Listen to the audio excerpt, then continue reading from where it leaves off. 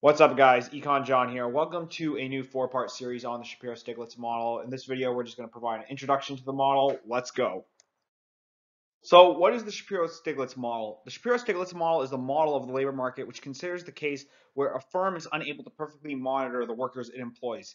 This means it allows for a situation where workers are able to slack off on their job and get away with it.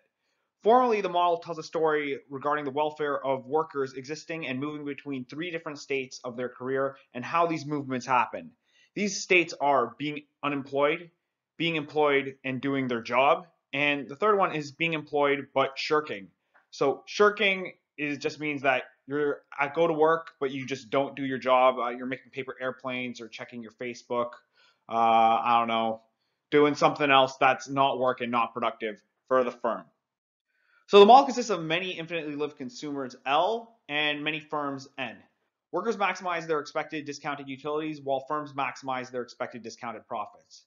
Mathematically speaking, we have to think about four different equations. We have our workers lifetime utility function, which is the integral of e raised to the power of negative rho t times little ut, which is our workers instantaneous utility function, where t goes from 0 to infinity. The instantaneous utility function is really depends on if the, our worker is employed or unemployed.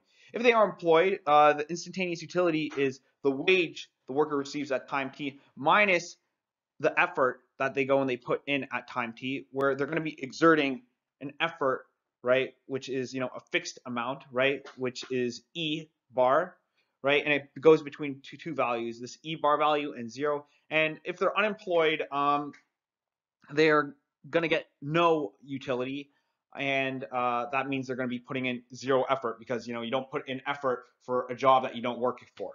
Um, we have our third equation, which is our workers' probability of remaining employed, right? Where we have E over here. This is E, the number, raised to the power of negative B times T minus T naught.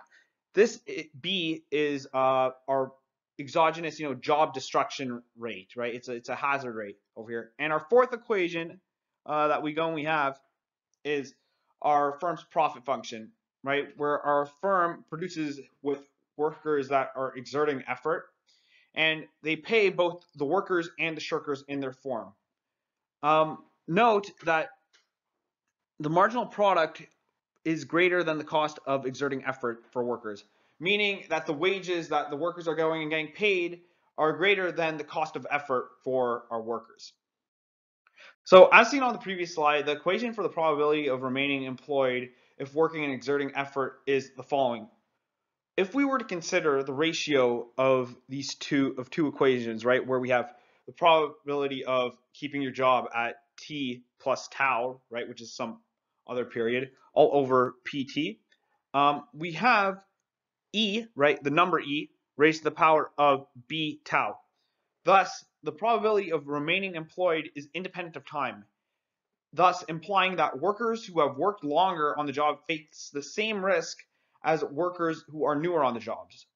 It should be noted, however, that shirkers face an additional risk that if they're caught shirking, they'll get fired and move to being unemployed. Thus, their probability of uh, staying employed, right, is multiplied by uh, e raised to the power of q, right, times t minus t naught, where Q is the firm's detection rate. Thus, shirkers' probability of remaining employed is E raised to the power of negative B plus Q times T minus T naught. So this is our first video on the Shapiro-Stiglitz model. I will see you in the next video. Take care.